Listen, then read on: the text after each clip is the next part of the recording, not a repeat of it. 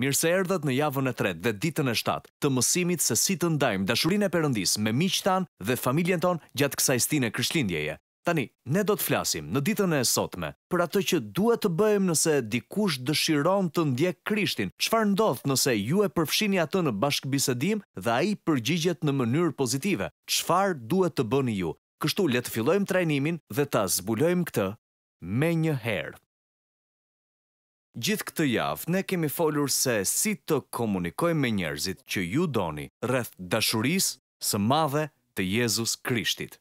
Ne kemi thënë se duhet t'u komunikojmë atyre disa gjëra, para së gjithash ne duhet t'u komunikojmë atyre se Perëndia i do ata dhe se ka një plan për jetën e tyre.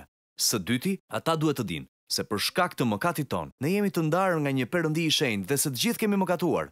Së treti, ne duhet të komunikojmë se pikërisht për këtë Jezusi vdiq, Ai vdiq për të marrë ndëshkimin për mëkatet tona, që ju dhe unë të jemi të falur, që ne të mund të njohim Perëndinë e të kemi një marrëdhënie personale me Të. Edhe së katërti, se ne duhet ta pranojmë Atë në jetën tonë si Zotin tonë dhe Shpëtimtarin tonë, të besojmë në Të, se Ai është Biri i Perëndisë, se Perëndia e ngriti prej së vdekurish, të besojmë me gjithë zemrën tonë. Tani, sot, unë dua të ndaj me ju, në lidhje me ftesën që njerëzit t'ia japin zemrën e tyre Krishtit. Tani, kjo është një çështje shumë delikate, por unë mendoj se është vërtet shumë e rëndësishme që nëse dikush dëshiron të njohë Krishtin dhe nëse Perëndia po i flet atij dhe Perëndia po punon në zemrën e tij, ne duhet t'ia japim atij këtë mundësi. Kur unë njoha Krishtin në fillim, unë nuk dija ta ndaja Krishtin me të tjerët. Ajo që unë dija ishte ajo që ai kishte bërë në jetën time. Edhe një nga miqtë e mi tha Semi çfarë të bëj unë, edhe unë i thashë unë nuk e di, por ti mund të bësh atë që bëra unë, unë thjesht u ula në gjunjë dhe u luta dhe thirra emrin e Jezusit dhe ai erdhi në zemrën time, ai ndryshoi jetën time. Nëse ti do të besosh.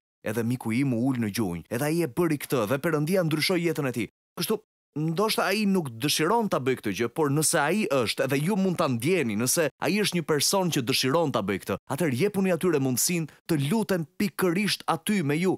Kjo është ajo që Jezusi tha, edhe ky është vargu për sot. Zbulesa kapitulli tre, vargu njëzet. Jezusi tha, Ja, Unë qëndroj tek dera dhe trokas. Nëse dikush dëgjon zërin tim edhe të hap derën, Unë do të hyj tek ai. Edhe Jezusi po troket në derën e zemrës së çdo personi, në jetën e çdo personi, përmes Frymës së Tij, Ai po e bën këtë, edhe ndërsa ju flisni me ta. Fryma e Shenjtë mund të jetë duke trokitur në atë moment në derën e zemrës së tyre. Kështu ju mund t'i pyesni ata, ndajeni këtë shkrim me ta thoni Jezusi po troket në derën e jetës tënde, a je i gatshëm ta hapësh atë derë? A je i gatshëm ta lejosh atë të vijë edhe të marrë kontrollin e jetës tënde? A je i gatshëm të heqësh dorë nga mënyra se si ke jetuar edhe ta lejosh atë të vijë edhe të marrë kontrollin e jetës tënde? A je i gatshëm ta ndjekësh atë, të besosh në të, edhe nëse ai është atëherë ai thjesht mund të lutet pikërisht aty me ju, ju s'keni nevojë për mua, nuk keni nevojë për asnjë tjetër, ju vetë mund të drejtoni dikë tek besimi në Jezus Krishtin. Tani, ndoshta personi me të cilin po flisni nuk është ende gati, nuk ka problem fare, mos e detyroni atë, por nëse ai është, nëse ai është i hapur, Nëse ai dëshiron të ndjekë Jezusin, ju mund ta drejtoni atë. Unë thjesht dua që ju të dini se mund ta drejtoni atë në lutje, tek besimi në Jezusin dhe ta pranojë Krishtin në jetën e tij edhe të bëhet një ndjekës i Jezusit. Ju mund ta bëni këtë. Nuk keni nevojë për mua. Ju mund ta bëni këtë. Tani, nëse ai është i hapur për këtë, atëherë mos e sforconi në këtë gjë. E dini, siç thashë, në fillim me respekt edhe dashuri.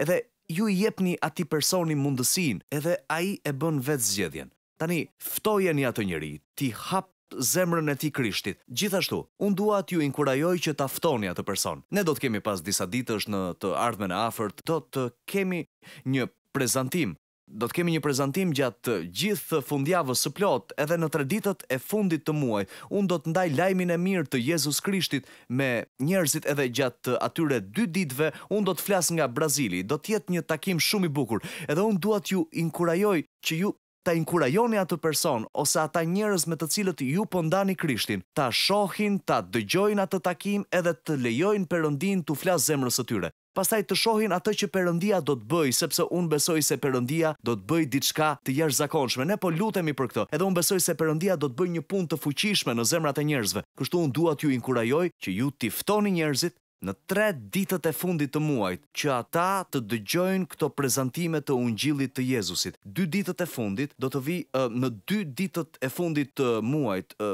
ë meqë ra fjala ë dita e fundit e majit është të quajtur si dita e rrëshajave.